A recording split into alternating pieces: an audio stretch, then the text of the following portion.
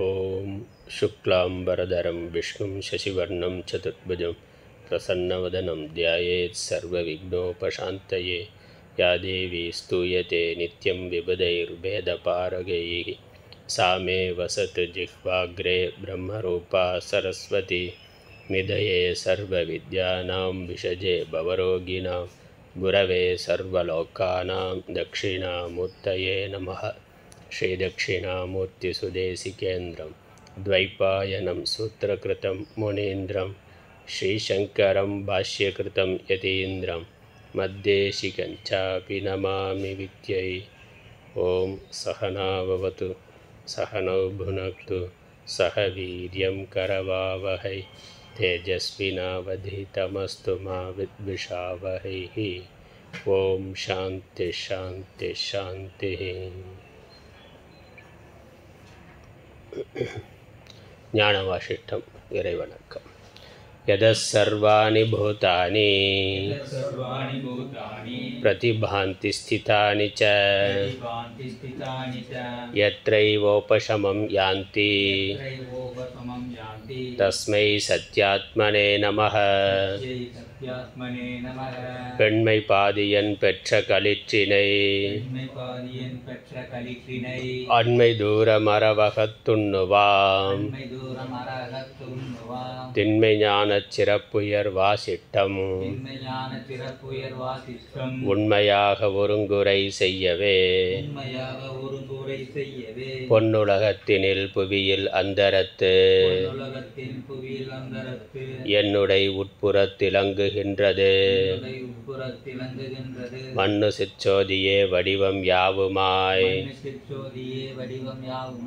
துண்ணுவத பொருள் பொருள் தொழுதிறங்குவாம்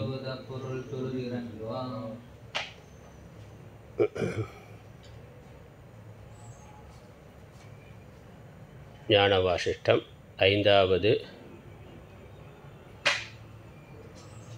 உபசம பிரகரணம். முதலாவது சனகராஜன் கதை. பாடல் ஐந்து. இனி பிறவா முடிவான பிறப்பிலே. இனி பிறவா முடிவான பிறப்பிலே. மெய்ஞானம் எளிதில் உண்டாம். மெய்ஞானம் எளிதில் உண்டாம். பனிச்சுடர் வெண் நித்திலங்கள் உத்தமமாம். சுடர் வெண் இத்திலங்கள் உத்தமமாம். மூங்கிலல்லால் படுவதுண்டோ. மூங்கிலல்லால் படுவதுண்டோ. செனித்தவரில் மேலோராய் நல்லோராய். செழித்தவரில் மேலோராய் நல்லோராய். மித்திரராய் தெளிந்தோராகி. திறராய் தெரிந்தோராகி. அனித்தமறு முத்தராய் ஞானிகளாம். அனித்தமரு முத்தராய் ஞானிகளெல்லாம் குணமெல்லாம் அவரைச் சேரும். குணமெல்லாம் அவரை சேரும். சத்துவ குணத்தில் பிறந்தவர்கள். கொஞ்சம் ரஜோகுண கலப்போடு சத்துவகுணம் மேலோங்கி பிறந்தவர்கள். பிறப்பிலேயே சத்துவகுணம் மேலோங்கி இருக்கக்கூடியவர்கள். அப்போ முந்தின பிறவிகளில் செய்த சாதனையினுடைய தொடர்ச்சியாக ஒரு மனித பிறவியில் இயல்பாக சத்துவகுணம் அமையப்பெற்று பிறந்தவர்கள் பிறப்பவர்கள். அவர்கள் விரைவில் ஞானத்தை அடைந்து அந்த ஞானத்திலேயே நிலை பெற்று நிற்கிறார்கள். அவர்கள் எப்படியெல்லாம் இருப்பார்கள் என்பதை சொன்னார்.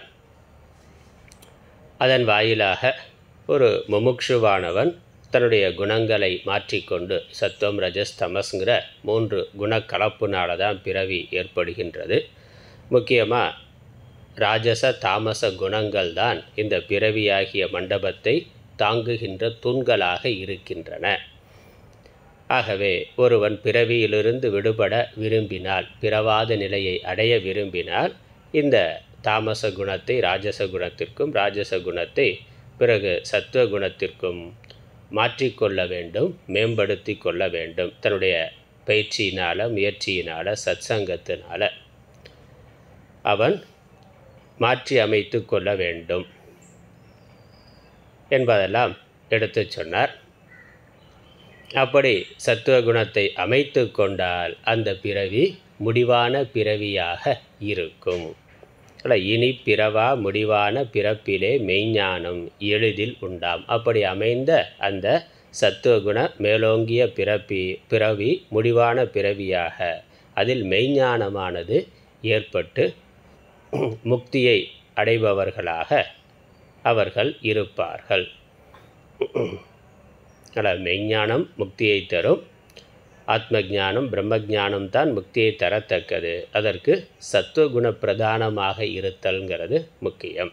அதனால் அப்படி யார் சத்துவகுண பிரதானமாக பிறக்கிறார்களோ அல்லது தன்னுடைய சாதனைகளால் அப்படி தன்னை மேம்படுத்தி கொள்கிறார்களோ அவர்கள் அந்த பிறவியை முடிவான பிறவியாக்கிக் கொள்கிறார்கள்.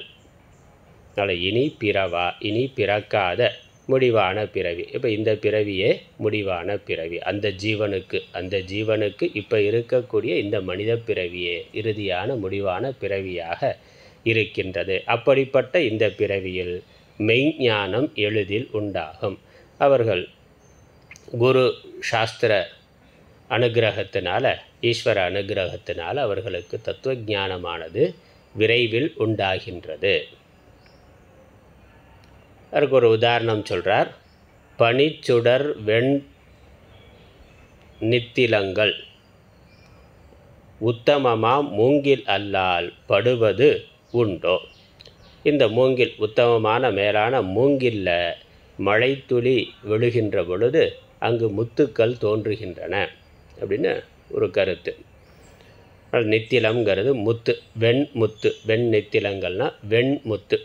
முத்தினுடைய தன்மை என்னது குளிர்ந்து இருக்கும். பனிங்கிறது குளிர்ச்சியை குறிக்கிறது. சுடருங்கிறது பிரகாசத்தை குறிக்கிறது. அதனால் குளிர்ந்த பிரகாசத்தன்மையுடைய வெண்மையான முத்துக்கள் உத்தமமான மூங்கிலில் தோன்றுகின்றன.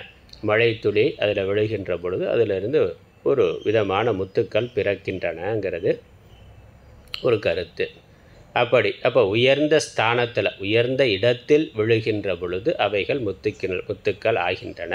இது மாதிரி இந்த குரு சாஸ்திர வாக்கியங்கள் இந்த உபதேசமானது உயர்ந்த பக்குவம் உடைய சத்துவகுணம் மேலோங்கிய மனதில் விழுகின்ற பொழுது அது ஸ்திர ஞானமாக தெளிந்த ஞானமாக ஆகின்றது.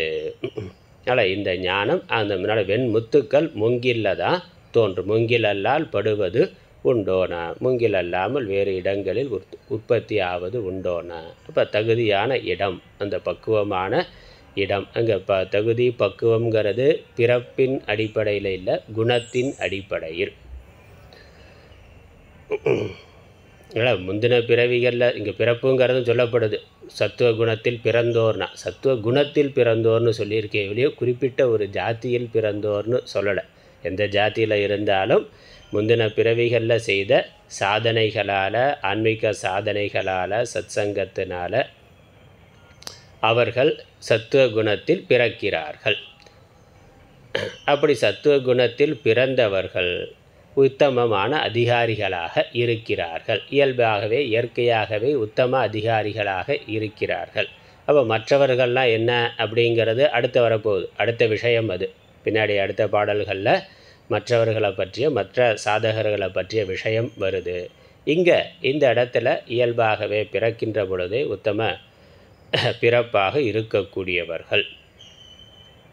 பகவத்கீதையில் எட்டாவது அத்தியாயம் யோக பிரஷ்டர்னு சொல்கிறாரு முந்தின பிறவி பிறவியில் சாதனை பண்ணி அதில் சித்தி அடையாததற்கு முன்னாடியே சித்தி அடைவதற்கு முன்னாலேயே மரணத்தை அடைந்தவர்கள் அடுத்த பிறவியில் யோக பிரஷ்டர்களாக அவர்கள் அடுத்த பிறவியில் உத்தமமான குலத்தில் பிறக்கிறார்கள். நல்ல படித்த ஆச்சார அனுஷ்டானத்தோடு உடைய அந்தணர் குலத்திலோ அல்லது நல்ல தர்மமாக வாழக்கூடிய க்ஷத்திரியர்கள் குலத்திலோ பிறக்கிறார். செல்வந்தர்னு சொல்கிறார் செல்வந்தர் குலத்திலோ அவர்கள் பிறக்கிறார்கள். தர்மமான செல்வந்தர்கள் குலத்தில் பிறக்கிறார்கள். இல்லை நல்ல ஆச்சார அனுஷ்டானமுடைய ஞானமுடைய அந்தணர்கள் குலத்தில் பிறக்கிறார்கள்னு பகவான் சொல்கிறார் அப்படி இயல்பாகவே அந்த பிறக்கக்கூடியவர்கள். அது தகுதி அந்த அதிகாரம் அந்த பாத்திரம் அங்கே தான் ஆத்ம ஞானமானது தெள்ள தெளிவாக ஏற்படுகின்றது விளங்குகின்றது. அதற்காக இந்த உதாரணம் சொல்லியிருக்கிறார்.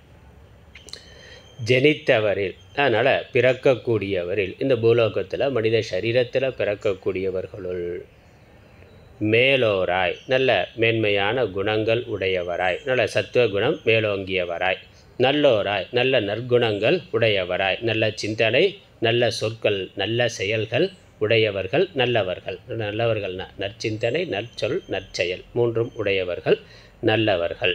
அதில் முக்கரணங்களாலும் நன்மையையே தனக்கும் பிறருக்கும் நன்மையையே சிந்திப்பவர்கள் செல்பவர்கள் செய்பவர்கள் நல்லவர்கள். அப்படி நல்லோராய் மித்திரராய். எல்லா ஜனங்களுக்கும் மித்திரராய். மித்திரபாவம் ஏற்கனவே பார்த்தோமே. கருணா முதிதா மைத்ரி இந்த மாதிரியான சத்துவகுணம் உடையவர்களாக. அதனால் மித்திரராய் சகல ஜீவர்களுக்கும் நன் நட் நட்பு பாராட்டக்கூடியவராய். யாரையும் பகைவர்னு நினைக்கிறதில்ல. எல்லாரோடையும் ஸ்நேக பாவத்தோடு இருக்கக்கூடியவராய். அன்பு பாராட்டக்கூடியவராய். எல்லோரும் சமமாய் பார்க்கக்கூடியவராய். சமமாய் நடக்க நடக்கக்கூடியவராய். தெளிந்தோர் ஆகி நல்ல தெளிந்த ஞானம் உடையவர்களாக ஆகி. தெளிந்த ஞானம் ஆத்ம ஞானம் அத்வைத்த ஞானம் நல்ல தெளிவாக உடையவர்களாக ஆகி.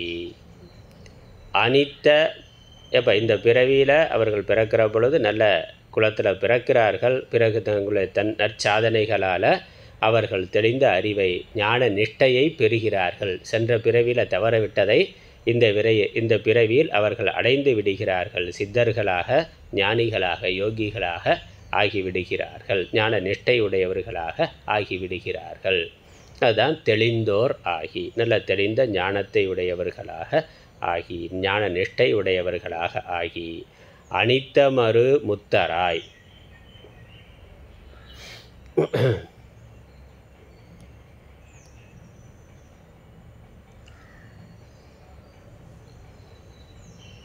முக்தராய் நல்ல மு அனித்தம்னா அனித்தியம் அனித்தியத்தை அறுத்த அப்படின்னா நித்தியத்துவத்தை அடைந்த முக்தர்களாய். நித்தியமாக இருக்கின்ற ஆத்மாவை அறிந்து அந்த நித்தியத்துவத்தை அடைந்த முக்தர்களாய் முக்தராய். அதனால் அனித்த அனித்தம் அரு அனித்தம்ங்கிறது அனித்தியம் அனித்தியம் அனித்தியத்துவத்திலிருந்து விடுபட்டு நித்திய சுரூபத்தை நித்தியமாக இருக்கக்கூடிய ஆத்மாவை அறிந்து முக்தராய். அதனால் அந்த ஆத்மா ஆத்மா நித்தியமானது என்ற ஞானத்தினால இந்த பிறப்பு இறப்புங்கிற சுழற்சியிலிருந்து விடுபட்டவராய். அதான் முக்தர். அதிலிருந்து விடுபட்டவராய். ஞானிகளாம் ஞானத்தை அடைந்தவர்கள் ஆத்ம ஞானத்தினால முக்தர்களாக ஆனவர்கள். குணமெல்லாம் அவரை சேரும். எல்லா உயர்ந்த குணங்களும் அவரை வந்து சேரும். வேற நல்லா சிறப்புகள் எல்லாம் இருக்கோ அவரை வந்து சேரும். எல்லா நற்குணங்களும் இந்த பொதுவாக நான்கு குணங்கள் தான் சொல்லப்பட்டது. கருணா முதிதா மைத்ரி உபேக்ஷா நாலு குணம் சொல்லப்பட்டது. இந்த நாலு குணங்களை வளர்த்து கொண்டு அப்படி இருப்பாயாகன்னு சொல்லப்பட்டது அப்படி இருப்பார்கள்னு சொல்லப்பட்டது. வேறு என்னெல்லாம் சிறந்த குணங்கள் இருக்கோ சத்குணங்கள் இருக்கோ எல்லா குணங்களும் அவரை இயல்பாக வந்து சேருகின்றன. அதனால் குணமெல்லாம் அவரை சேரும்னா எல்லா சிறந்த குணங்களும் அவரை வந்து சேரும். எல்லா விதத்திலும் அவர்கள் பூர்ணமானவர்களாக இருப்பார்கள். பூர்ணமான ஆத்மாவை அறிந்து கொண்டவர்கள் அந்த பூர்ணமான ஆத்ம ஞானத்தில் பிரகாசமாக இருக்கக்கூடியவர்கள் விழிப்பாய் இருக்கக்கூடியவர்களிடத்தில் எல்லா குணங்களும் வந்து சேரும். ஆகவே அவர்கள் குணவான்களாக குணமென்னும் குன்றேரின்னு சொல்கிறாரு குணமென்னும் குன்றேறி நின்றார்னா குணக்குன்றாக அவர்கள் இருக்கிறார்கள். குணசிகரமாக அவர்கள் இருக்கிறார்கள். எல்லா சத்குணங்களும் அவர்களிடத்தில் இயல்பாக இருக்கும். அதுதான். நல்ல விவகாரத்திலேயும் நல்ல குணங்கள் பொருந்தியவர்களாக இருப்பார்கள். நம்ம நீதி நூல்கள் திருக்குறள் நாரடியார் இந்த மாதிரி நீதி நூல்களில் என்னெல்லாம் சத்குணங்கள் இருக்கணும் அப்படின்னு சொல்லப்படுகின்றதோ அந்த குணங்கள் எல்லாம் இயல்பாக உடையவர்களாக அவர்கள் இருப்பார்கள். சத்குணம்னா எல்லா நல்ல குணங்களும். ஆமாம் நல்ல இந்த நாலு குணம் பிரதானமாக சொல்லப்பட்டது. இந்த நாலு குணம் இருந்தால் மற்ற எல்லா குணங்களும் வந்துவிடும். அதனால் அதனால் குணம் எல்லாம்னு சரி சொல்லியிருக்கிறேன் ஏன்னா நல்லோராய்ங்கிறதே நல்ல குணங்கள் இருந்தால் தான் நல்லோராய். அப்போ ஏற்கனவே இருக்குது ஆனால் குணமெல்லாம் அவரை சேரும்னு சொல்கிற பொழுது மற்ற எல்லா நற்குணங்களும் அவரிடத்தில் வந்து சேரும். இயல்பாகவே அவைகள் அமைந்திருக்கும். அவ்வளோதான் ஒன்று ஒவ்வொரு குணத்துக்காக தனித்தனியாக சாதனை பண்ணணுங்கிறது இல்லை. சில முக்கியமான குணங்களை பயிற்சி பண்ணாலே மற்ற குணங்கள் எல்லாம் வந்துவிடும். அந்த அருளுடைமை எடுத்து பார்க்க போகிறோம் திருக்குறள் துறவரவியலில் அதில் பரிமளகர் சொல்கிறார் அந்த அதுக்கான முகவுரையில் சொல்கிறார் சதுக்களுடைய ஆச்சாரங்கள் நிறையா இருக்குது ஆனால் அதில் முக்கியமானதை எடுத்துக்கொண்டு இதில் சொல்கிறார் இதெல்லாம் இருந்தால் மற்றதெல்லாம் அதற்குள்ளே வந்துவிடும் அப்படின்னு சொல்லுகிறார்னு அப்படி முகவுரை கொடுக்குறார். பார்க்க போகிறோம் நம்ம அடுத்த வகுப்பில் பார்க்க போகிறோம் அந்த மாதிரி அதனால் முக்கியமான குணங்களை சொல்லியிருக்கு. அவைகள் இருந்தால் மற்ற குணங்கள் எல்லாம் தானாக வந்துவிடும் ஆ? ஆ, ஆத்ம குணங்கள்னு இருக்குது அப்புறம் அஷ்ட குணங்கள்னு தர்மசாஸ்திரம் சொல்லு ஆத்ம குணங்கள்னு எட்டு குணங்கள் சொல்லுது. அந்த மாதிரி எல்லாமே. குணம் எல்லாம் அவரை சேரும்.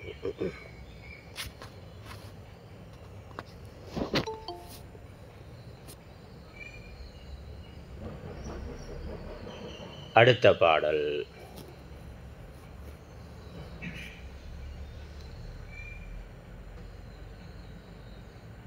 அதாவது விவகார விஷயங்கள்லேயும் அவர்கள் சரியாக இருப்பார்கள். ஆத்ம ஞானத்தில் தெளிவாக இருப்பார் அப்படின்னா மற்ற விவகார விஷயங்கள்லாம் அதுலேயும் அந்த ஆத்ம ஞானத்தினுடைய தெளிவுனால் தர்ம விஷயங்களிலும் அவர்கள் தெளிவாக இருப்பார்கள். எல்லா சதாச்சாரம் உடையவர்களாக இருப்பார்கள். அதுதான். ஆறாவது பாடல். மெத்தென்ற சரித்திரத்தின் அவர்தன்மை அவர் தம்மை உலகெல்லாம் விரும்பும் தன்மை உலகலாம் விரும்பும் தன்மை கொத்தென்று வனமூங்கில் குழலிசையால் மகிழ் விலங்கின் கூட்டம் போலும் இத்தன்மை யாவருக்கும் பொதுமையினால் இயம்பியதாம் இதனில் வேறாய் சத்தென்ற வழி இரண்டு ஏழ்பவம் தீர்ப்பவர்க்கு. அவற்றை அவற்றைச் சாற்றக் கேண்மோ. மெத்தென்ற சரித்திரத்தின் அவர் தம்மை உலகெலாம் விரும்பும் தன்மை. கொத்தொன்று வன மூங்கில் குழல் இசையால் மகிழ் விலங்கின் கூட்டம் போலும். இத்தன்மை யாவருக்கும் பொதுமையினால் இயம்பியதாம். இதனில் வேறாய் சத்தென்ற வழி இரண்டு இயல்பவம் தீர்ப்பவர்க்கு அவற்றை சாற்றக் கேண்மோ மெத்தென்ற சரித்திரத்தின் சரித்திரங்கிறது சரிதம். அவர்களுடைய மிருதுவான நடத்தை இப்படிப்பட்ட ஞானிகள் முக்தர்கள் சாதுக்களுடைய நடத்தை எப்படி இருக்கும்? மெத்துன்னு இருக்கும்னா மெத்துங்கிறது மிருது மிருதுத்தன்மை ரொம்ப சாஃப்டான சுபாவம். பழக்கம் உடையவர்களாக மிருத்துவான நடத்தை உடையவர்களாக இருப்பார்கள். கரடு முரடா இருக்க மாட்டார்கள். அவர்களை பார்த்து யாரும் பயப்பட வேண்டியதில்லை. ரொம்ப அன்பு பண்பு மிகுந்தவர்களாக இருப்பார்கள். மிருத்துவான நடத்தை நல்ல மிருத்துவான பேச்சு மிருத்துவான செய்கை மிருத்துவான குணங்கள் உடையவராக இருப்பார்கள். அதான் அதான் மெத்தென்ற சரித்திரம். மெத்தென்ற சரித்திரம்ங்கிறது மெத்தென்ற சரித்தம். அவர்களுடைய நடத்தை நடத்தை.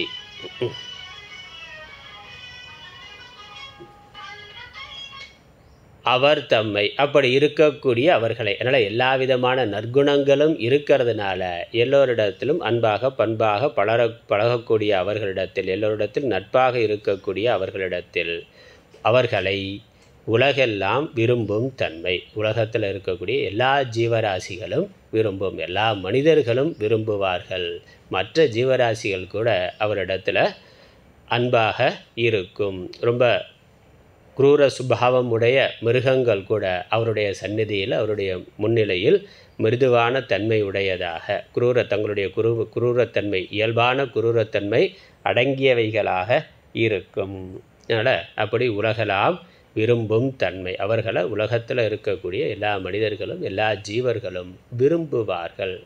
அவர்களோடு நட்பு கொள்ள அவர்களோடு சேர்ந்து பழக விரும்புவார்கள். அது எது மாதிரி அப்படின்னா உதாரணம் கொத்தன்று வனமூங்கில் குழல் இசையால். வனத்தில் நெருங்கி வளர்ந்துருக்கிற இந்த மூங்கில் ஒன்றுக்கொன்று அடர்த்தியாக நெருங்கி இருக்கும். அந்த மூங்கில்கள் ஒன்றோடு ஒன்று உரசுற பொழுது அதில் ஒரு இனிமையான ஓசை வரும். அந்த ஓசை அந்த குழல் இசை அந்த குழல் இசையினால் முங்கில் குழல் இசையால் மகிழ் விலங்கின் கூட்டம் போல அந்த இனிமையான குழல் ஓசையை கேட்டு அந்த சுற்றி இருக்கக்கூடிய அந்த வனத்தில் இருக்க மிருகங்களெல்லாம் ரொம்ப மகிழ்ச்சியோடு இருக்குமா நில மகிழ் விலங்கின் கூட்டம் போல. அந்த குழலோசையை கேட்கின்ற விலங்குகள் ரொம்ப மகிழ்ச்சியோடு சேர்ந்து அதை மெய்மறந்து கேட்டுக்கொண்டு ரசித்து கொண்டு இருக்கும். அது மாதிரி இந்த இவர்களுடைய சரித்தம் இவர்களுடைய வாழ்க்கை இவர்களுடைய பேச்சு இவர்களுடைய நடத்தை இவர்களுடைய அறியா அருகாமை இவைகளை எல்லா மனிதர்களும் விரும்புவார்கள் அதை ரசிப்பார்கள். அதை கேட்கறதுனால அவர்களுக்கு மகிழ்ச்சியானது இருக்கும் சாந்தமானது ஏற்படும். அவர்களுடைய சாந்த சுபாவம் அருகில் இருப்பவர்களையும் சாந்தப்படுத்தும். அவர்களிடத்தில் இயல்பாக இருக்கக்கூடிய மகிழ்ச்சி சுற்றி இருப்பவர்களிடத்துக்கும் பரவும். அவர்களும் அந்த மகிழ்ச்சியை அவர்களுக்கு என்னதான் பிரச்சனைகள் கவலைகள் இருந்தாலும் அதெல்லாம் மறந்துட்டு அவருடைய சந்நிதியில் அவர்கள் மகிழ்ச்சி நிறைந்தவர்களாக இருப்பார்கள். அதனால் அவருடைய உபதேசம் புரியுதோ புரியலையோ அது கேட்ட ஞானம் வருதோ இல்லையோ? ஆனால் அவருடைய அருகாமை அவருடைய முன்னிலை அவருடைய சந்நிதி இருந்தாலே மகிழ்ச்சி நிறைவானது இருக்கும். எத்தனையோ மகான்களை அப்படி பார்க்கிறோம். அவர் இருந்த அவர் இறந்து சமாதியான பிறகு கூட அந்த இடத்துக்கு போனால் அமைதி இருக்குது அவர் இருந்த இடத்துல அவர் வாழ்கிற ஆசிரமத்துக்கு போனால் வாழுகின்ற பொழுதும் அவர் இருக்கிற இடத்துக்கு போனால் அங்கே அமைதி சாந்தம் ஆனந்தம் இருக்குது அதனால் அவர் உபதேசத்தை கேட்குற பொழுது ஞானம் வருது அது அப்புறம். ஆனால் அந்த சந்நிதி அந்த இடத்துக்கு போகிறதே ஒரு மகிழ்ச்சியை நிறைவை அமைதியை தருகின்றது. அவர் சமாதி அடைந்தால் கூட அந்த இடத்துக்கு போகிற பொழுது அந்த நிறைவு நிம்மதியானது வருகின்றது. அதனால் அந்த மாதிரி அது அவர்களுடைய பெருமை. இத்தன்மை யாவர்க்கும் பொதுமையினால் இயம்பியதாம். இந்த தன்மை இந்த உயர்வு யாவர்க்கும் பொதுமையினால் இயம்பியதாம். இது பொதுவாக சொன்ன விஷயம் அப்படின்னு சொல்கிறார் இந்த இயல்பா சத்துவகுணத்தில் பிறக்கக்கூடியவர்கள் அந்த பிறவியிலேயே ஞானத்தை அடைந்து முக்தர்களாக ஆகிறார்கள். இது வந்து பொதுவாக சொன்ன விஷயம். எந்த ஜீவனாக இருந்தாலும் அடுத்தடுத்த பிறவிகளில் தன்னுடைய ஆன்மீக சாதனைகளை தொடர்ந்து செய்கின்ற பொழுது ஒரு பிறவியில் இந்த சத்துவகுணத்துக்கு வருவான் இயல்பான சத்துவகுண பிறப்பினராக ஆவான். அவன் அந்த பிறவியில் முடிவை அடைவான். அவனுடைய அந்த பிறவி முடிவி அந்த பிறவியோடு அவனுடைய அந்த ஜீவத்துவமானது முடிவை அடையும். அதன் பிறகு அவன் பிரம்மமாகவே இருப்பான். அதனால் இது வந்து பொதுவாக கூறியது. ஆமாம் அதான் அடுத்து சொல்ல போகிறார் அடுத்த அடுத்த அடுத்த விஷயம் அதான். இது வந்து இதுவரைக்கும் சொன்னது இயல்பா சத்துவ குணத்தில் பிறந்தவர்கள். அப்போ இந்த பிறவியில் அப்போ முந்தின பிறவியில் அவர்கள் சாதனை பண்ணியிருக்காங்க. ஆனால் இப்போ பிறக்கிற பொழுதே அப்படி பார்க்குறோம். பிறக்கிற பொழுதே சிலர் வந்து எக்ஸ்ட்ராடினரி இப்போ அவை சாந்தமான சுபாவம் உடையவர்களாக நல்ல பண்புடையவர்களாக இளம் வயதிலேயே ஆன்மீக தாகம் உடையவர்களாக மற்ற எல்லாத்தையும் விட்டு விட்டு ஆன்மீகத்துக்காகவே வாழ்க்கையை தியாகம் பண்ணியவர்களாக இருக்கிறத பார்க்கிறோம். அப்படி இல்லாமல் அடுத்த அடுத்த வர்றார். அட இதனில் வேறாய். அப்போ இது மட்டும்தானா? இதனில் வேறாய். சத்தென்ற வழி இரண்டு இரண்டு வழி. இன்னும் இரண்டு வழிகள் இருக்கின்றன. ஞானத்தை மோட்சத்தை அடைவதற்கு இன்னும் இரண்டு விதமான மனிதர்கள் இருக்கிறார்கள். இரண்டு விதமான வழிகள் இருக்கின்றன. ஏழ்பவம் தீர்ப்பவர்க்கு. ஏழு ஏழு பிறவிகளிலிருந்து விடுபட வரும் ஏழு பிறவினாக்கா ஏழு விதமான யோனிகள் ஏழு விதமான சரீரம். ஏழ்பவம் தீர்ப்பவர்க்கு. வ- சத்தென்ற இரண்டு வழி இரண்டு. அவற்றை சாற் சாற்ற கேண்மோ அவர்களை நான் சொல்ல நீ கேட்பாயாக. அவற்றை ரெண்டு இன்னும் ரெண்டு வழி இருக்குது இது வந்து பிறக்கிற போதே சத்துவகுணம் பிறப்பவர்கள் முக்தியை அடைகின்ற வழி. அது இல்லாமல் இன்னும் இரண்டு வழிகள் இருக்கின்றன. அவற்றை சொல்லுகின்றேன் கேட்பாயாக அப்படின்னு சொல்ல போகிறார் ஏழ்பவம் தீர்ப்பவர்க்கு. ஏழுபவரம் ஏழுபவம்னா நம்ம பிறவியை பல விதங்களில் பிரித்து சொல்கிறோம் நாலு விதமான யோனிகள் அப்படின்னு அண்டஜம் ஸ்வேதஜம் உத்பிஜம் அப்படின்னு ஒரு நாலு பிரிவு.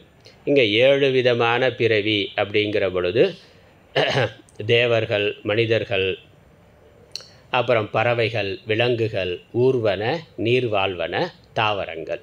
கீழே இருந்து பார்த்தா தாவரங்கள் செடி கொடிகள்ங்கிறது ஒரு விதமான பிறவி. அதுக்கும் ஜீவன் தான் அதுக்கு ஜீவம் இரு ஜீவத்துவம் இருக்குது உள்ள ஜீவன் இருக்குது அதனால் செடி கொடிகள் தாவரங்கள் அப்படிங்கிறது ஒரு பிறவி ஸ்தாவர பிறவி தாவர பிறவி. அதுக்கப்புறம் ஊர்வன த நம்ம கால் இல்லாமல் பூமியில் ஊர்ந்து செல்லக்கூடிய பாம்பு முதலானவைகள் ஒரு பிறவி ஒரு ஒரு குரூப். அது ஒரு விதமான ஒரு ஸ்பீசிஸ் அது ஒரு விதமான உயிரினம். அதுக்கப்புறம் விலங்குகள். கால்களோட விலங்குகளாக இருக்கக்கூடியது விலங்குகள்.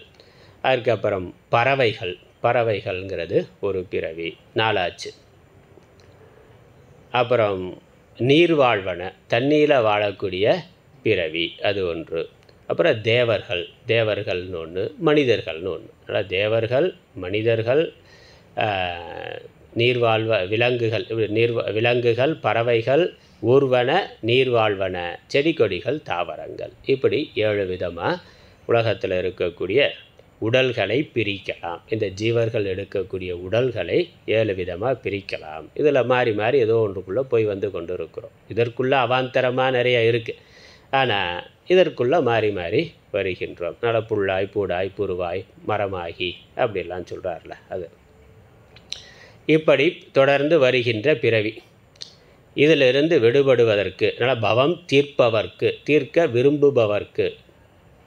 வழி இரண்டு சத்தென்ற வழி சத்துனா நல்ல வழி. உத்தமமான வழிகள் மேலான வழிகள் இரண்டு. அவற்றை சாற்ற கேண்ம கேண்மோ அவற்றை நான் சொல்லுகின்றேன் கேட்பாயாக.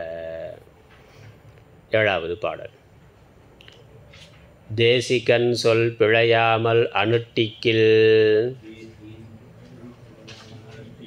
பைய பைய தியக்கம் நீங்கி.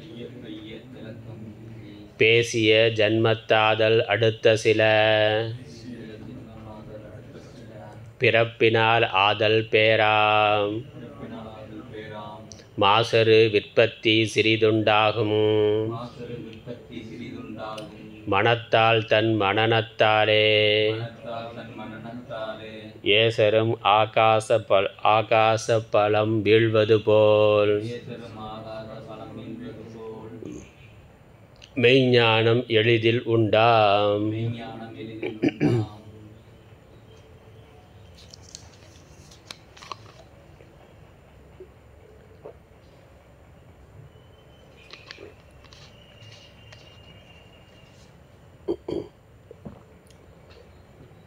உத்தேசிக்கன் தேசிகன் சொல். பிழையாமல். அனுஷ்டிக்கில் பைய பைய தியக்கம் நீங்கி பேசிய ஜன்மத்து ஆதல் அடுத்த சில பிறப்பில். ஆதல் பேராம். தேசி இது ஒரு இது ஒன்று இது ஒரு வழி. இந்த முதல் ரெண்டு வரியில் ஒரு வரி சொல்லப்பட்டிருக்கு. ஆதல் பேராம்னா பேருங்கிறது முக்தி பேர் முக்தியை அடைகின்ற ஒரு வழி ஆகும். அப்புறம் இரண்டாவது வழி மாசரு விற்பத்தி சிறிது உண்டாகும் மனத்தால் தன் மனனத்தாலே. ஏசரு ஆகாச பலம் வீழ்வது போல மெய்ஞானம் எளிதில் உண்டாம். இது இன்னொரு வழி. தேசிகன் சொல் பிழையாமல் இந்த பிறவியில் இப்போ கிடைத்திருக்கிற மனித பிறவியில் ஒருவன் குருவை அணுகி அதனால் தேசிகன்கிறது ஆச்சாரியர் குரு. குருவை அணுகி அப்போ விவேக வைராக்கியம்லாம் வந்து அதில் நம்ம சேர்த்து கொள்ளணும். குருவிடத்தில் போகணும் அப்படின்னாலே அவனுக்கு உலக விஷயங்களில் ஒரு வைராக்கியம் வந்திருக்கணும் ஒரு விவேக்கம் இருக்கணும். இது சரியில்லை. இப்போ இருக்கக்கூடிய இந்த உலகம் நம்மளுடைய வாழ்க்கை சரியில்லை. இது இன்ப துன்ப மயமாக இரண்டும் கலந்ததாக இருக்குது இதிலிருந்து நான் விடுபட வேண்டும் அப்படிங்கிற விருப்பம் ஏற்பட்டவன். அதனால் கைவல்லினுடைய இதில் பார்க்குறோமே வெயில் சதி சகித்திடா புழு போல் வெம்பீனா. இந்த வெயில் சம்சார தாப்பம் தாங்க முடியாமல் வெயிலை தாங்கிக் கொள்ள முடியாத புழுவை போல துடித்துனா. ஒரு குருவை அணுகி சரணம் அடைந்தான். அந்த மாதிரி குருவை சரணம் அடைந்தவன் விவேக வைராக்கியம் வந்து ஓரளவுக்கு பூர்ணமாக இல்லைனாலும் ஓரளவுக்கு விவேக வைராக்கியம் வந்து குருவை அணுகி சரணம் அடைந்தவன். அந்த குருவினுடைய உபதேசத்தை கேட்கின்றான். சிரவணம் பண்ணுறான் அதனால் பிழையாமல்னா அவருடைய உபதேசத்தை கேட்டு அதிலிருந்து நழுவாமல் அனுஷ்டிக்கில் அனுஷ்டிக்கில்ங்கிறது அனுஷ்டிக்கில். அதை பின்பற்றினால் அதை நடந்தால் குரு என்ன உபதேசம்? அவர் ஆசிரமத்துக்கு குருகிட்ட போனாக்கா ஆசிரமத்துக்குன்னு சில நியதிகள் இருக்குது அப்புறம் ஜபம் தியானம் முதலான தீட்சைகள் எல்லாம் கொடுத்து அவன் பக்குவப்படுவதற்காக அவனுடைய விவேக வைராக்கியம் ஓரளவுக்கு விவேக வைராக்கியம் இருக்கிறதுனால தான் அவன் வந்து முமுக்ஷுவாக குருவிட்ட வர்றான்.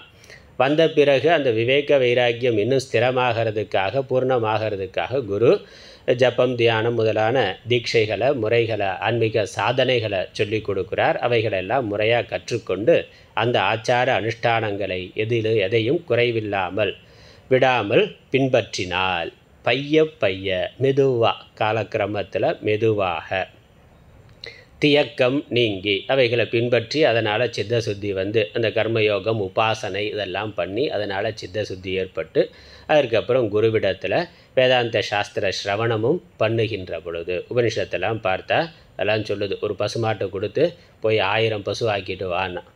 அதுக்கப்புறம் தான் உபதேசம். குருகுலத்துக்கு போனாக்க ஒரே ஒரு பசுமாடு கொடுத்து அது அது காட்டில் மேய்ச்சி ஆயிரம் பசு ஆன பிறகுன்னு. அப்போ அது என்னது? அதான் சாதனா காலம் கர்மயோகம் உபாசனையெல்லாம் பண்ணுறதுக்கு அது வந்து வழி. ஆயிரம் பசு ஆன பிறகு தான் பசு ஆக்கின பிறகு தான் உபதேசத்தை ஆரம்பிக்கிறார். அதனால் பைய பையன மெதுவாக அந்த சாதன சதுஷ்டயம் அந்த அனுஷ்டானங்களை பின்பற்றுகின்ற பொழுது அவனுடைய சாதன சதுஷ்டயம் பூர்த்தியாகி நல்ல பக்குவமானது ஏற்படுகின்ற பொழுது குரு உபதேசம் செய்ய அதனால் ஆத்ம ஞானம் ஏற்பட்டு தியக்கம் நீங்கி மயக்கமானது நீங்கி அறியாமை நீங்கி அஜானமானது நீங்கி பேசிய ஜன்மத்து ஆதல். இந்த எந்த பிறவியில் குரு உபதேசம் பண்ணாரோ அதே பிறவியிலேயே. அதனால் ஜன்மத்துனா பேசியனா உபதேசித்த. ஜென்மத்து ஆதல்னா அதே பிறவியிலேயே பேரு அடைதல் என்பது. அல்லது அப்படி நடக்கலாம்.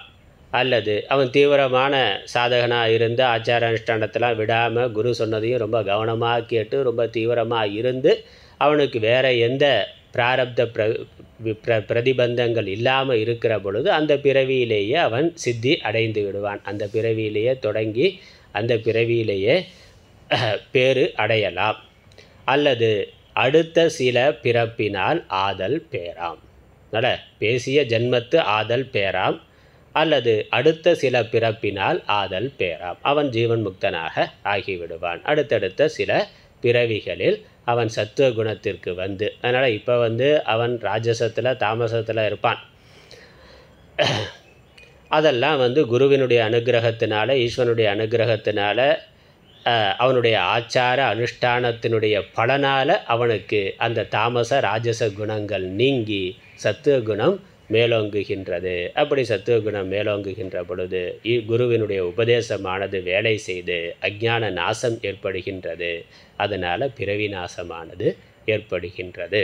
அது ஒரே பிறவியில் நடக்கலாம். அந்த பிறவியிலே எந்த பிறவியில் உபதேசம் கேட்கிறானோ அதே பிறவியிலேயே நடக்கலாம். அல்லது அடுத்து சில பிறப்பினால் ரொம்ப இல்லை ஒரு சில பிறப்புகளில் நடக்கலாம். ஆதல் பேராம். அதனால் இது ஒரு முறை. அதனால் ராஜச தாமசத்தில் இருக்கிறவர்களுக்கு என்னன்னா இதான். ராஜச தாமசத்தில் இருந்தாலும் அவனுக்கு வந்து கர்மயோகம் தர்மத்தை கடைபிடித்தவன் நிஷ்காமமாக கர்மம் பண்ணி அதனால் சித்தசுத்தி வந்து விவேகம் வைராக்கியம் வந்து நல்ல முமுட்சுவாக ஆயிருந்தானா அவன் குருவை அணுகுகின்ற பொழுது பிறவியிலிருந்து ஞான உபதேசம் பெற்று பிறவியிலிருந்து விடுபடுவான். அப்படி இல்லாமல் இருக்கிறவர்கள் நிஷ்காமமாக கர்மாவை பண்ணாதவர்கள் தர்மமான வாழ்க்கைக்கு வராதவர்கள் லௌகிக்கத்திலே இருக்காங்க அங்கேயே தான் இருக்காங்க. அவங்க ஆசிரமத்துக்குள்ளேயே எட்டி பார்க்க மாட்டான். குரு பக்கத்திலேயே போக மாட்டா அவர்கள் உலக வாழ்க்கையிலேயே போய்கொண்டே இருப்பார்கள். ஆனால் தர்மமான வாழ்க்கை அப்புறம் இந்த சாஸ்திரம் சொல்கிறபடி சாஸ்திரத்தில் ஸ்ரத்தை கொண்டு வேதம் சொன்னபடி தர்மமான வாழ்க்கை வாழக்கூடியவர்கள் அதனால் ஒரு புண்ணியம் ஏற்பட்டு அப்புறம் அந்த தர்மத்தையும் நிஷ்காமமாக பண்ண ஆரம்பித்து அதனால் சித்தசுத்தி வந்து அதனால் விவேக வைராக்கியம் ஏற்பட்டு அதன் பிறகு இந்த குருவை அணுகுதல்ங்கிறது அவர்களுக்கு வரும். அதனால தான் நம்ம ஆரம்ப நிலைகளில் தர்மத்தை தான் அது தர்மத்தையும் பக்தியும் தான் அதிகமாக வலியுறுத்தி சொல்லுகின்றோம். அது வந்தால் தான் இவன் வந்து ஞானத்திற்கு மோட்சத்திற்கு வர முடியும்.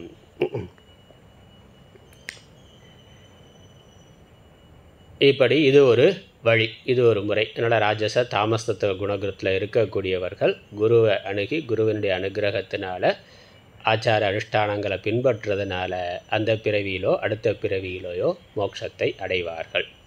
அடுத்ததை சொல்கிறார் மாசரு விற்பத்தி சிறிது உண்டாகும் மனத்தால் தன் மனநத்தாலே விற்பத்திங்கிறது ஸ்ரவணம்.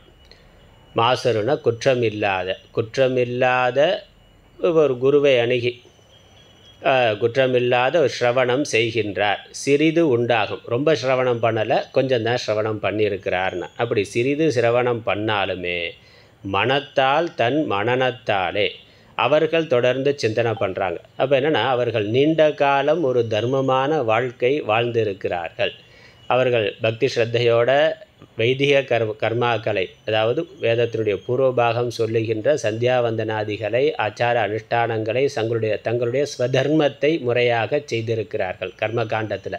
கர்மகாண்டத்தில் இல்வாழ்க்கையில் தன்னுடைய தர்மத்தை முறையாக ரொம்ப சரியாக செய்தவர்கள். அதனாலேயே ஒரு புண்ணியம் ஏற்பட்டு அதனால் நல்ல சித்த சித்தி ஏற்பட்டு அவர்கள் சிறிது சிரவணம் செய்தாலே கொஞ்சம் சிரவணம் பண்ணாலே அவர்களுக்கு அவர்களுடைய அந்த உயர்ந்த பக்தி ஸ்ரத்தையினால் ஆச்சார அனுஷ்டானத்தினால் ஏற்பட்ட புண்ணிய பலத்தினால் அவர்களுக்கு ஞானமானது ஏற்படுகின்றது. அதனால் மனத்தால் தன் மனநத்தாலே அந்த கொஞ்சம் சிரவணம் பண்ணி அதை மீண்டும் மீண்டும் சிந்தனை பண்ணுறதுனாலேயே அவர்களுக்கு அந்த புரிதலானது ஏற்படுகின்றது. ஏசரும் ஆகாச பழம் வீழ்வது போல. ஆகாசத்திலிருந்து ஒரு பழம் ஆகாசக்கனி. ஆகாசத்திலிருந்து ஒரு பழம் விழுகிற மாதிரி ஞானமானது அவர்களுக்கு விரைவில் வந்து விடுகிறது. அதனால் சி விரைவாக நடக்கிறதுக்காக அதை சொல்கிறார் முன்னாடி சொன்ன கிரமத்தில் என்னென்னா இவன் இப்போ தான் ஒரு மாம்பழத்தை சாப்பிட்டுட்டு கொட்டையை விதைச்சி அப்புறம் அது செடியாகி அதை வளர்த்து அது மரமாகி அப்புறம் அது பருவம் அதற்கு பா பூக்கக்கூடிய காலம் வந்து அப்புறம் அது பூத்து அப்புறம் காய்த்து அப்புறம் கனியாகி மெதுவாக நடக்கக்கூடிய ப்ராசஸ் நாலு அஞ்சு வருஷம் பத்து வருஷம் அவன் குரு கூட இருந்து ஆசிரமத்தில் இருந்து சேவை பண்ணி கொண்டு இருந்து அப்புறம் ஒரு காலத்தில் சிரவணம் பண்ணி அதற்கு நடுவில் இவனுடைய தகுதிகள் எல்லாம் படிப்படியாக வளர்ந்து வர்றது அப்படிங்கிறது. அதனால் இப்போ ஒரு செடி வச்சு அது வளர்ந்து ஒரு பத்து இருபது வருஷத்துக்கு பிறகு அது பழம் கொடுக்கறதுங்கிற மாதிரி படிப்படியாக நடக்கக்கூடிய ப்ராசஸ் முதல்ல சொன்னது. அதுக்கப்புறம் அவனுக்கு பழம் கிடைக்கிறது. ஆனால் இங்கே என்னென்னா ஆகாசத்திலேருந்து திடீர்னு ஒரு பழம் விழுந்தா ஆகாச பழம்னா அந்த மாதிரி திடீர்னு நடக்கக்கூடிய சம்பவம். திடீர்னு நடக்குதுன்னா அந்தளவுக்கு அவர்களுக்கு அதிர்ஷ்டம் புண்ணியம் இருக்குது அவர்கள் வந்து தர்மமான வாழ்க்கையை சரியாக கடைபிடித்து இருக்கிறார்கள் அதனால் கொஞ்சம் சிரவணம் பண்ணாலும் ஒரு ஆன்மீக முகாமுக்கு வந்தாங்க ரெண்டு நாள் மூணு நாள் பாடம் கேட்டாங்க போயிட்டாங்கன்னா அவர்கள் குடும்ப வாழ்க்கையில் சரியாக இருந்து நல்ல ஆச்சார அனுஷ்டானம் உடையவர்களாக நல்ல பக்தி ஸ்ரத்தை உடையவர்களாக இருந்தால் அவர்களுக்கு அது விளங்குகின்றது. அதனால் இது வந்து பெரும்பாலும் கிரகஸ்தருக்கு இருக்குது அதனால் தான் ஜனகர் கொதை சொல்ல போகிறார் இந்த அடிப்படையில் இந்த ரெண்டாவது மார்க்கத்தில் இருக்கிற ஆள் தான் ஜனக மகாராஜா. அவருடைய கதை தான் அடுத்து விஸ்தாரமாக சொல்ல போகிறார் அப்புறம் ஆன்மீக முகாம் மனிஷா பஞ்சகம் முகாமுக்கு வர்றாங்கன்னா அஞ்சு பாட்டு தான் மனிஷா பஞ்சகம் கேட்குறாங்க மூணு நாள் தான் கிளாம்புனா. முடிச்சுட்டு வீட்டுக்கு போகிறாங்க ஆனால் அதில் அவர்களுக்கு பரிபூர்ண பக்தி ஸ்ரத்தை இருந்ததுனாக்கா அதுவே ஞானத்தை கொடுக்கும். அப்போ மற்றவர்கள் மாதிரி இந்த சிஷ்யர்கள் மாதிரி ஆசிரமத்திலேயே இருந்து பத்து வருஷம் இருபது வருஷம் இந்த ஆசிரம வாழ்க்கையிலேயே இல்லையே சேவை பண்ணலையே அவர்களுக்கு வருமானா? வரும்னா. அதனால் சிறிது விற்பத்தி சிறிதுனா சிறிது சிரவணம் பண்ணாலும் கொஞ்சம் சிரவணம் பண்ணாலும் மனநத்தா மனத்தால் தன் மனநத்தாலே அவர்கள் அதை தொடர்ந்து பக்தி ஸ்ரத்தையோடு அபியாசம் பண்ணுற பொழுது தொடர்ந்து கேட்கிற பொழுது ஆகாச பழம் வீழ்வது போல் ஆகாசத்துலேருந்து திடீர்னு ஒரு பழம் விழுகிற மாதிரி. அப்போ ஈஸ்வரனுடைய அனுகிரகம் அங்கே. ஈஸ்வரனுடைய அனுகிரகம் இருக்குது இவர்களுடைய புண்ணிய பலம் இருக்குது மெய்ஞானம். அதனால் எளிதில் உண்டாகும்னா. எளிதில் அவர்களுக்கு மெய்ஞானமானது வந்து விடுகிறது இன்னும் சாதாரணமாக உதாரணம் சொல்லணும்னாக்கா கட்சியிலேயே பத்து வருஷம் இருபது வருஷம் இருக்கிறான்னா. முதல்ல சாதாரண அடிப்படை உறுப்பினராக சேர்ந்து அப்புறம் வட்ட செயலாளராகி அப்புறம் மாவட்ட செயலாளராகி அப்படி படிப்படியாக வளர்ந்து பதினஞ்சு வருஷம் இருபது வருஷத்துக்கு அப்புறம் கட்சியில் ஒரு உயர்ந்த பதவிக்கு வர்றான். அப்போ அவனுடைய நீண்டகால உழைப்பு அங்கே இருக்குது ஆனால் திடீர்னு ஒருத்தர் கட்சிக்கு வர்றாருன்னா வந்த உடனே மாநில தலைவர் பதவின்னா. நடக்குது இல்லை எவ்வளவோ சீனியர் இருக்காங்க. இருபது வருஷம் முப்பது வருஷமாக இருந்த பிறகு உயர்ந்த நிலைக்கு வந்தவர்கள் இருக்காங்க. அவருக்கு முன்னாடி இருந்த ஆளுகள்லாம் அப்படி படிப்படியாக வந்தவர்கள் தான் ஆனால் திடீர்னு வந்த உடனே மாநில தலைவர் பதவினா அப்போ என்னது? அவர் கட்சிக்கு உள்ளே இல்லைனாலும் வெளியே இருந்து ஒரு தர்மமான வாழ்க்கை வாழ்ந்திருக்கிறார். அதற்கு வருவதற்கான முழுமையான தகுதி உடையவராக அவர் இருக்கிறார். அதனால் அவருக்கு அது கொடுக்கலாம் தவறு இல்லை. அதே மாதிரி தான் இங்கேயும் ஞான மார்க்கத்திலையும். ஞான மார்க்கத்திலையும் அவன் சின்னதுலேருந்து படிப்படியாக முயற்சி பண்ணி பண்ணி பண்ணி வந்திருக்கிறான். இருபது முப்பது வருஷத்தில் சித்தி வரலாம். ஆனால் அதற்கு சம்பந்தம் இல்லாமல் வெளியே உலக வாழ்க்கையில் இருந்தாலும் அங்கே தகுதி உடையவர்களாக பக்குவம் உடையவர்களாக நல்ல தர்மவான்களாக நல்ல பக்தி ஸ்ரத்தை உடையவர்களாக வாழ்ந்தவர்கள் வாழ்பவர்கள் அவர்கள் வேதாந்த சாஸ்திரத்தை ஒன்று ரெண்டு நூல்கள் கேட்டாலும் இல்லறத்தில் இருந்து அப்பப்போ வந்து கேட்டுட்டு போனாலும் அவர்களுக்கு ஆகாசப்பழம் விழுவது போல். அதனால் இந்த உதாரணம் நல்ல உதாரணம். செடியை போட்டு செடி வளர்த்து மரமாகி பழம் வர்றதுக்கு ஒன்று ஆனால் திடீர்னு அதிர்ஷ்டமாக குரு ஒரு பழத்தை கொடுக்குறார் வாங்குறாருன்னா அந்த மாதிரி ஆகாசப்பழம் வீழ்வது போல மெய்ஞானம் எளிதில் உண்டாகும். அப்படி நடக்கிறதுக்கும் வாய்ப்பு உண்டு. அதனால் இப்படி இது இன்னொரு விதம். இப்படி இரண்டும் இருக்கு. இவ்விரண்டில் அடுத்த பாட்டு. எட்டாவது பாடல். இவ்விரண்டில் ஆகாச பலம் போல. மெய்ஞானம் இயைந்த தன்மை. செவ்விய வல்லால் முன்னோர் கதையாலே. யான் செப்பத் திருந்தக் கேட்பாய். தெவ்வுலகில் ஆபத்து என்று ஒன்றுமிலோன். விதரணத்தோன் செல்வம் மிக்கோன். அவ்வியம் இல் விதேக நாடு அரசாள்வோன். ஜனகன் எனும் என்னும் அரசர் கோமான். இவ்விரண்டில் இந்த இரண்டில் மேற்கொண்ட ரெண்டு முறைகளில் படிப்படியாக பிரம்மச்சாரியாக இருந்து குருகிட்ட இருந்து சேவை பண்ணி படிப்படியாக வளர்ந்து ஞானம் பெறுதல்ங்கிற முறை அல்லது நல்ல தகுதி பக்குவம் இருக்கிறதுனால ஒரு சில விரைவாகவே உபதேசத்தை கேட்டு ஞானம் பெறுதல்ங்கிற முறை. இந்த இரண்டு முறையில் ஆகாச பலம் போல மெய்ஞானம் இயைந்த தன்மை ஆகாசத்திலிருந்து விழுந்த அதிர்ஷ்டமாக திடீர்னு கிடைத்த பழம் போல. நல்ல. காரைக்கால் அம்மையாருக்கு பகவான் கொடுக்குறாரு ஈஸ்வரன். மாம்பழம் வேணும்னு ஒன்று மாம்பழத்தை திடீர்னு கொடுத்துறாரு. அது ஆகாச ஈஸ்வர அனுகிரகம் தான். இப்போ ஆகாச பழங்கிறது ஈஸ்வரனுடைய அனுகிரகம் இவர்களுடைய தகுதி பக்குவத்தினால அந்த அம்மாவுடைய பக்தியினால் ஒரு மாம்பழம் இன்னொரு மாங்கனி வேண்டும் என்று கேட்ட உடனே கிடைத்து விட்டது கிடைத்து விடுகின்றது. அந்த மாதிரி மெய்ஞானம் அப்படி மெய்ஞானத்தை இயைந்த தன்மை.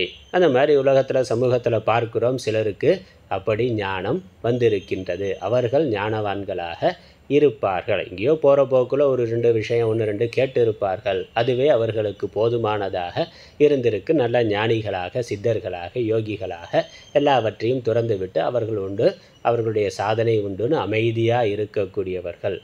அப்படி இருக்கிறவர்களை பார்க்குறோம். அவர்கள் ஒன்றும் பெருசாக உபதேசம் கூட பண்ண மாட்டார்கள். ஆனால் அவர்கள் அளவில் அவர்கள் ஞானியாக இருப்பார்கள். ஏன்னா உபதேசம் கிரமமாக கேட்டிருந்தா தான் கிரமமாக உபதேசம் பண்ண முடியும். ஒரு நல்ல சிஷ்யனாக இருந்து குருவிடம் இருந்து பல காலம் சேவை செய்து படிப்படியாக உபதேசம் வாங்கியிருந்தா தான் இன்னொருக்கு அந் இன்னொருத்தருக்கு அந்த உபதேசத்தை அதே கிரமத்தில் எடுத்து சொல்லி அவர்களை ஞானிகளாக ஆக்க முடியும். இன்னொரு சிஷ்யர்களை குருவாக ஆக்க முடியும்.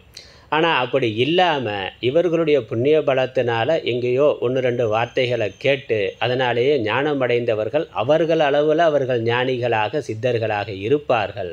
ஆனால் அவர்கள் இன்னொரு சிஷ்ய பரம்பரை குரு சிஷ்ய பரம்பரையில் அவர்கள் வந்த அவர்கள் வரலைங்கிறதுனால இன்னொரு சிஷ்ய பரம்பரையை உருவாக்க மாட்டார்கள். அப்படி இருக்க ஏதோ போய் கேட்டாக்கா ஒன்று ரெண்டு உபதேசம் சொல்லுவார்கள். அவ்வளவுதான். அது கேட்குற பொழுது நல்லா இருக்கும். ஆனால் கிரமமாக சொல்கிறது தத்துவபோதத்தில் ஆரம்பித்து பிரம்மசூத்திரம் வரைக்கும் சொல்கிறது அப்படி படித்து கேட்டால் தான் அதை இன்னொரு ஜீவனுக்கு அடுத்த பரம்பரைக்கு எடுத்து சொல்ல முடியும். அப்படி இல்லைன்னா அவர்கள் அவர்கள் அவர்கள் அளவில் அவர்கள் ஞானிகள். நிறைவு பெற்றவர்கள் ஒன்றும் சந்தேகம் இல்லை. ஆனால் அவர்கள் குருவாக இருப்பா இருக்க மாட்டார்கள். பிரம்மனிஷ்டர்களாக இருப்பார்கள். ஆனால் ஸ்ரோத்ரியராக இருந்து பிரம்மனிஷ்டராக இருக்கிறவர் தான் இன்னொரு குரு சிஷ்ய பரம்பரையில் வரக்கூடியவராக இருப்பார்கள். ரமணர் மாதிரியானவர்கள். ரமணர் மாதிரி அப்படி இருக்கக்கூடியவர்கள். இன்னும் பார்த்தாக்கா காலேஜில் பிஸ்னஸ் பண்ணுறான் உதாரணம் சொல்கிறேன் புரியறதுக்காக உதாரணம் சொல்கிறேன் தொழிலில் தொழில் நிறையா செய்கிறார்கள். அப்போ முறையாக அவன் வந்து ஸ்கூலில் படித்து கல்லூரியில் படித்து பிஸ்னஸ் மேனேஜ்மெண்ட்லாம் படித்து அப்புறம் ஒரு தொழிலை ஆரம்பித்து தொழில் பண்ணி ஒரு இருபது முப்பது வருஷம் தொழிலில் வெற்றி பெறுகிறான். இருக்கிறான். அப்படி இருக்கிற ஆள் உண்டு. பிஸ்னஸ் மேனேஜ்மெண்ட்லாம் தெரியும். சிலர் வந்து நல்லா முறையாக படிச்சுட்டு எம்பிஏ பிஏ பிபிஏ எம்பிஏலாம் படித்து எப்படி பிஸ்னஸ் பண்ணணும்லாம் படிச்சுட்டு அவர்கள் கல்லியில் கல்லூரியில் பேரா பேராசிரியர்களாக ஆகிறார்கள். அப்போ ஒன்றாவதுலேருந்து முறையாக பள்ளிக்கல்வி அப்புறம் உயர்கல்வி எல்லாம் படித்து முறையாக படித்து பேராசிரியர்களாக ஆகிறார்கள். அவர்கள் மாணவர்களுக்கு எடுத்துச் சொல்லுகிறார்கள். என்ன அப்படிங்கிறத. ஆனால் கெஸ்ட் லெக்சர்னு சிலரை கூப்பிட்றான். காலேஜில் பெரிய காலேஜில். என்னென்னா பெரிய தொழிலதிபர்களாக இருக்கக்கூடியவர்கள். அவர்கள் பிபிஏ எம்பிஏலாம் படிச்சிருக்காங்களான்னா ஒன்றும் கிடையாது. ஒன்றும் படித்திருக்க மாட்டார்கள். அப்பா அம்மா பண்ணியிருப்பா பரம்பரையாக வந்ததாக இருக்கும். அவர்களுடைய முயற்சியில் முறையான பள்ளி கல்வி இருக்காது கல்லூரி கல்வி இருக்காது. சொல்லப்போனால் ரெண்டாவது மூணாவது அஞ்சாவது எட்டாவது ரொம்ப அடிப்படை கல்வி தான் இருக்கும். ஆனால் தொழில் ரீதியாக பெரிய ஆளாக இருப்பாங்க. பிஸ்னஸில் வெற்றி பெற்றவர்களாக பல நிறுவனங்களை நடத்தக்கூடியவர்களாக பெரிய மளிகை கடை வைத்தவராக இருக்கலாம் இல்லை ஏதோ தொழிலில் அவர்கள் வெற்றி பெற்றவர்களாக இருப்பார்கள். அப்போ அவர்களை கூப்பிட்டு கெஸ்ட் லெக்சராக உங்களுடைய வெற்றிக்கான காரணம் என்ன? ரகசியம் என்ன? அதெல்லாம் சொல்லுங்கன்னு எம்பிபிஏ பிஏ எம்பிஏ ஸ்டூடெண்ட்ஸுக்கு கிளாஸ் எடுக்க சொல்கிறாங்க அப்போ அவர்கள் என்னது? கெஸ்ட் லெக்சரர் தான். அவர்களுடைய அனுபவத்தில் அவர்கள் வாழ்க்கையில் அனுபவத்தில் கற்றுக்கொண்டவர்கள் அந்த அனுபவத்தை எடுத்து சொல்லிட்டு போயிடுவாங்க. அவர்களே காலேஜ் ப்ரொஃபஸர் ஆக்கலாமான்னு? ஆக முடியாது. கெஸ்ட் லெக்சர் மட்டும்தான்.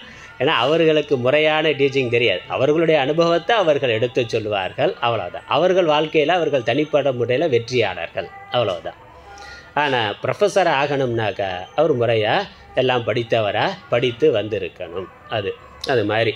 அதனால் முதல் பிரிவு வந்து மாணவனாக இருந்து குருகுலத்தில் இருந்து முறையாக படித்து அதே வாழ்க்கையாக இருந்து வந்தவன். இன்னொருத்தன் கெஸ்ட் லெக்சர் மாதிரி. அவருக்கு அனுபவத்தினாலேயே சிலது சித்தி ஆகியிருக்கு அதனால் அவர்கள் அவர்களும் மெய்ஞானம் அடைகிறார்கள். அதனால் அப்படி அடைய முடியாதுங்கிறதில்ல அடைய முடியுங்கிறதுனால ரெண்டு மார்க்கம் சொல்கிறார் அதனால் அப்படி சித்தர்களை மகான்களை யோகிகளை பார்க்கிறோம். அதனால் அவர்களை நம்ம வணங்கலாம் நமஸ்காரம் பண்ணலாம். ஆனால் உபதேசங்கிற பொழுது ஸ்ரோத்ரியற்றதாக நம்ம கேட்கணும். அதனால தான் ரமரே ரமணரே என்ன சொல்கிறார் நான் யாருக்கும் குருவும் அல்ல எனக்கு யாரும் சிஷியர்கள் இல்லைங்கிறார்.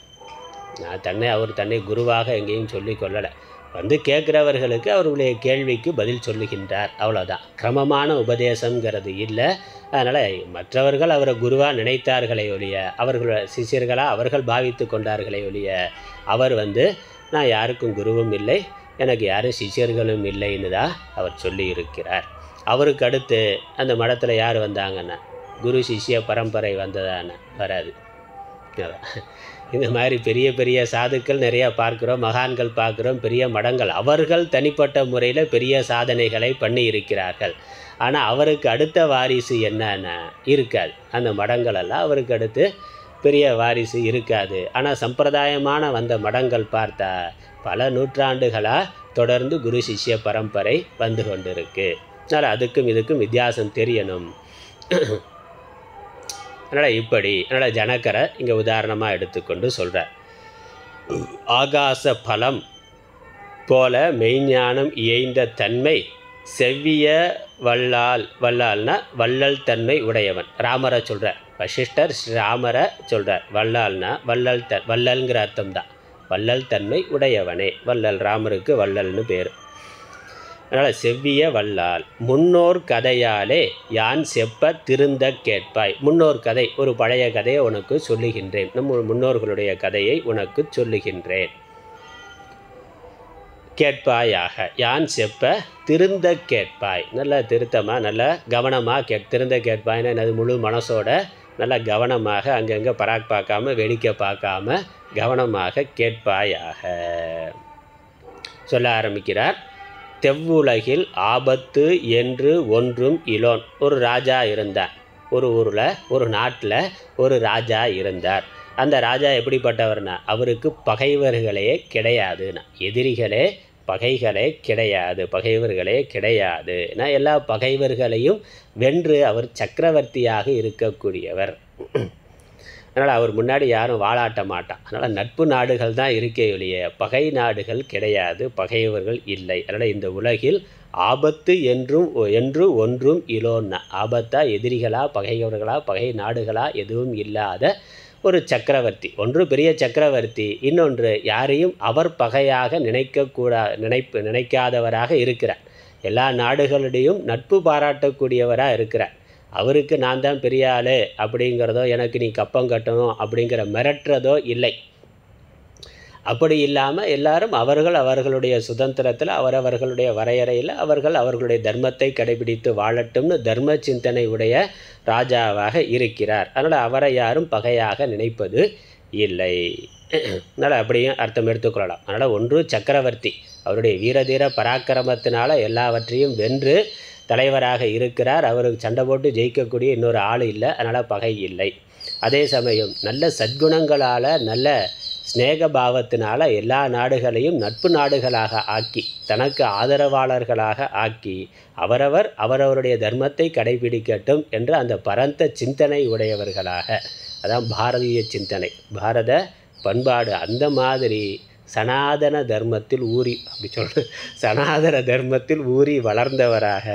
அதனால் எதிரினோ எதிரி நாடுனோ எதிரி மதம்னோ யாரையும் நினைக்காதவராக.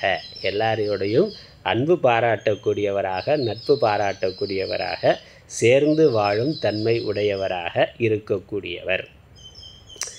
அப்படி அப்படி ஒருத்தர் இருந்தார். ஒன்றும் இலோன்.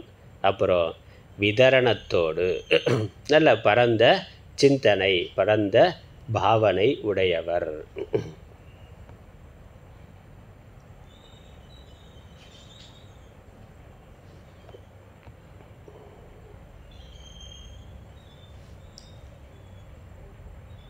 நல்ல உதார் விதரணம்ங்கிறது உதார மனசு அப்படிங்கிறதா. நல்ல பரந்த சிந்தனை பரந்த மனது உடையவர். பரந்த சிந்தனை இருந்தாலே பகை குறைவாக இருக்கும். எல்லோரையும் கொடுத்து எல்லோரையும் அரவணைத்து வாழக்கூடிய தன்னுடைய தேசத்தில் இருக்கிறவர்களுக்கே எல்லாருக்கும் எல்லாம் கிடைக்கிற மாதிரி ஒரு பரந்த பார்வை ஒரு குறுகிய மனப்பான்மை குறுகிய மதம் குறுகிய ஜாதி இல்லை குறுகிய பிரிவு அப்படின்னு இல்லாமல் தன் தேசத்தில் இருக்கக்கூடிய எல்லா மக்களையும் அரவணைத்து செல்லக்கூடியவர்கள். எல்லோரும் உயரணும் எல்லோரும் நல்லா இருக்கணும் நினைக்கக்கூடியவர்கள். அதே மாதிரி மற்ற தேசத்தவரும் நல்ல எல்லோரும் நன்றாக இருக்கணும்னு நினைக்கக்கூடிய பரந்த பார்வை பரந்த தேசம் உடைய பரந்த சிந்தனை உடையவர் குறுகிய மனப்பான்மை இல்லாதவர். அதனால் விதரணத்தோன்னா அதனாலேயே பகை இல்லாமல் இருக்கக்கூடியவர். அப்புறம் செல்வம் மிக்கோன்னா செல்வத்துக்கும் குறைவில்லை. எல்லா விதமான ஐஸ்வர்யங்களும் உடையவர். அப்புறம் அவ்வியம் அவ்வியம் இல் பொறாமை அவ்வியம்ங்கிறது பொறாமை. அவ்வியம் பேசேல் நான் இருக்கேன். பொறாமைங்கிறது. அதனால் அவரை பார்த்து பொறாமைப்படுகிறதுக்கு கூட இன்னொரு ஆள் இல்லை. அதனால் பொறாமை இல் விதேக நாடு. விதேக நாடுங்கிற நாட்டில் அரசனாக அரசாள்வோன் ஜனகர் ஜனகன் எனும் அரசர் கோமான். ஜனகன் அவர் பேர் அந்த ராஜா பேர் ஜனகர். எந்த நாட்டுக்கு ராஜன்னா? விதேக நாடு விதேக நாடு. அதனால் விதேக நாட்டு இளவரசினால தான் ஜானகிக்கு வைதேகின்னு ஒரு பேர் சீத்தைக்கு. சீத்தைக்கு ஜனக மகாராஜாவோட புத்திரிங்கிறதுனால ஜானகின்னு பேர். விதேக நாட்டு இளவரசிங்கிறதுனால வைதேகின்னு ஒரு பேர். அதனால் அந்த விதேக நாடு தான். அதனால் சீத்தையோட தந்தை ஜனகர் அப்படின்னு எடுத்துக்கொள்ளலாம். அல்லது அந்த பரம்பரையில் வந்து முன்னாடி இருந்த ஒரு ஜனகர்னு எடுத்துக்கொள்ளலாம். எப்படி வேணாலும் எடுத்துக்கொள்ளலாம். ஜனகர்னு ஏன்னா தாத்தா பேரை பேரருக்கு வைக்கிறது இருக்குல்ல. நம்ம பழக்கத்தில் தாத்தாவோட பேரை பேரனுக்கு வைக்கிறதுனா. அதனால் இது வந்து சீதையோட தந்தை ஜனகரானா இல்லை அவரோட தாத்தாவானா. அந்த பரம்பரையில் அந்த விதேக தேசத்தினுடைய ராஜ பரம்பரையில் இருந்த ஒருத்தர் அப்படின்னு எடுத்துக்கொள்ளலாம் அல்லது ராமருக்கு சம காலத்தில் அப்போ வாழ்ந்து கொண்டு இருக்கக்கூடிய ஜனகராஜான்னு எடுத்துக்கொள்ளலாம் எப்படியோ ஜனகர்னு ஒரு ராஜா விதேக தாசத்தில் இருந்தவர் விதேக நாடு. சிறந்த சக்கரவர்த்தி சிறந்தர். பொதுவாக இது வந்து ஜனகருடைய தந்தை அப்படி தான் சொல்லப்படுது. சரி சீதையினுடைய தந்தை அவர்தான். ராஜ ரிஷியாக இருந்திருக்கிறார். ஆனால் வேதத்திலேயே இந்த கதை வர்றதுனால இது வந்து இன்னும் முன்னாடி இருந்த வேற ஜனகர் அப்படின்னு எடுத்துக்கொள்ளலாம். நான் வேதத்திலேயே உபனிஷத்துக்கள்லேயே ஜனகருடைய கதை வருது இருக்கு. ராஜரிஷின்னு ஜனகருடைய கதை வருது. யாக்ஞவல்யர் அங்கே போகிறார் யாராக்ய யாக்ஞவல்யருக்கும் ஜனகருக்கும் சம்பாதம்லாம் வேதத்திலே உபனிஷத்துக்கள்லையே இருக்குது அதனால் அந்த பரம்பரையில் வந்த ஒரு ஜனக்கர் அப்படின்னு எடுத்துக்கொள்ளலாம். நமக்கு அது முக்கியம் இல்லை ஜனக்கர்னு ஒரு ராஜா இருந்தார். அவர் விதேக தேசத்து ராஜாவாக இருந்தார். அவர் நல்லவராக இருந்தார் அதான் முக்கியம். அவர் வந்து நல்ல பண்புள்ளவராக அன்புள்ளவராக நல்ல மனு தர்மப்படி ராஜ்யம் பண்ணக்கூடியவராக தனா சனாதன தர்மப்படி வாழக்கூடியவராக அவர் சிறந்தவராக இருந்தார். அதுதான் முக்கியம். அதனால் இதோட ஆராய்ச்சியெல்லாம் பார்க்க வேண்டியதில்லை. வரலாறு உண்மையா இல்லையான்ல அப்படி ஒருத்தர் இருந்தார். நமக்கு கதையோட செய்தி தான் முக்கியமே ஒழிய அதுக்கு பின்னாடி இருக்கக்கூடிய வரலாறு அது முக்கியம் அல்ல. அரசர் கோமான் அரசர் கோமான்னா சக்கரவர்த்தின்னு அர்த்தம். ராஜாக்களுக்கெல்லாம் ராஜா மாமன்னர் மன்னாதி மன்னன். அப்படி இருந்தார். அவருடைய பெருமை இன்னும் அடுத்த பாட்டில் வருது. அடுத்த பாடலை படிச்சிருவோம். சர்க்குணத்தால் கடல் அணையான் சக்கரத்தான் கடலணையான் சக்கரத்தான். என உலகம் தாங்கும் நீரால். நற்குணம் செய் வசந்தனால் நறுமலர் சூழ். நந்தனத்தில் நயந்து மேவி. தற்குரிய தந்திரர்கள் புற நிற்ப. தனியனாய்ச் சரிக்கும் வேலை. சிற்குரிய மனமுடைய சித்தர்கணம். பாடுவ பண் செவியில் கேட்பா கேட்டான்.